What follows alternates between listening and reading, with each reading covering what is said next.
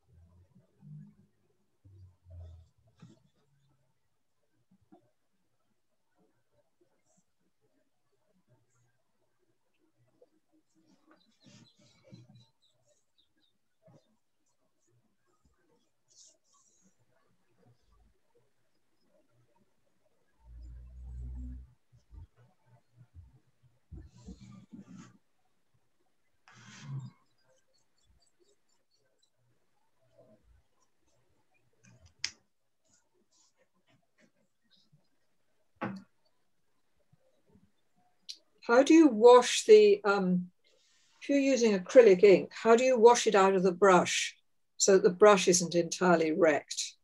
Well, I just I just put it in water, clean water. I don't I don't ever leave it sitting with the ink on it. Right, but it's just it dries quite quickly. Uh, well, I'm just I'm literally you know using my brush, and then when yeah. I'm not using it, I immediately wash it.